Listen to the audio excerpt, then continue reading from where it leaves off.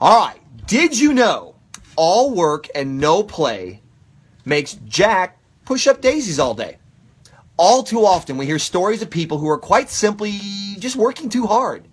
They never take the time to stop and smell the roses or just enjoy life. Well, it turns out that this might not be such a good idea. New research published in the medical journal The Lancet followed 600,000 people and found that those who worked more than 55 hours per week increased their stroke risk by more than 33%.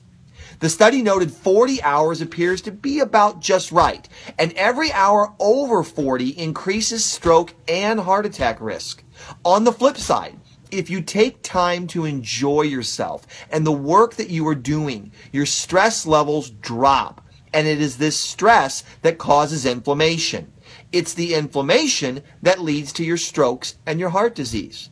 So enjoy yourself. Enjoy your life. Don't forget to step away from the stressful work and the environment to enjoy what's going on around you. It will pay off in the long run. I'm Dr. Sean McCaffrey, and that is Did You Know?